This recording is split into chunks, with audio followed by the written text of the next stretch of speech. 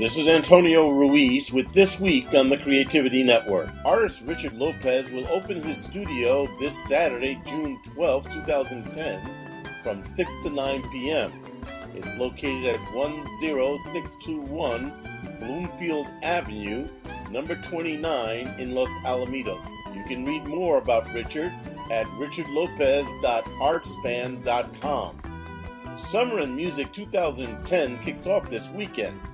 Future Legends, now sounds of the Long Beach Bloodline. This begins June 12th from 4 to 9 p.m. in the East Village Arts District on 1st Street between Linden and Elm. There'll be a special performance by the UK band Phantom Limb.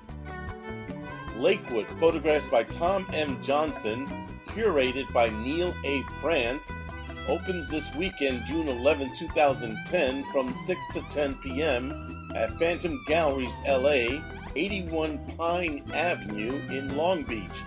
For further information, please contact Neil A. France at 310 892 0756 or email him at neilafrance at hotmail.com. The Long Beach Opera presents Orpheus and Eurydice by Ricky Ian Gordon at the Belmont Plaza Olympic Pool 4000 Olympic Plaza in Long Beach. There's a performance on Friday, June 11th at 9 p.m.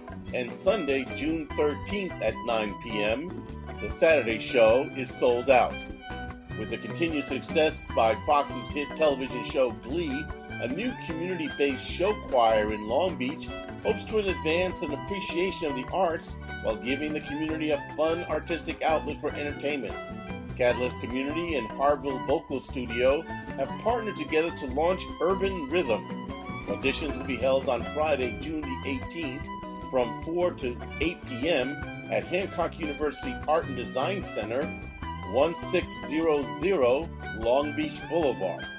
Applicants will need to fill out an audition application located at www.gocatalyst.org. And that's some of what's happening this week on the Creativity Network.